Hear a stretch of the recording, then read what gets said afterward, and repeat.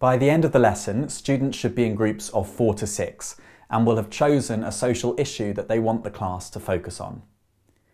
During the lesson, you may find there's some lively debate. Due to the sensitivity of some social issues, it might be a good idea to set some ground rules before you start. The goal of the first few activities is to get students thinking about social issues in society. The first activity is video-based. There's a range of charity videos in the lesson folder for you to choose from. As a class, students will come up with a definition for a social issue. There's a recommended definition included in the PowerPoint. In identifying causes and making links, you will read out the case study provided in the lesson folder. Students are asked to identify the social issues that they hear and draw links between them. Students then think about who's responsible.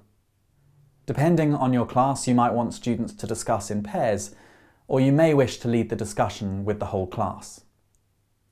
Before the end of the lesson, the class must be divided into smaller groups of four to six students in their groups, they should identify social issues in their own community.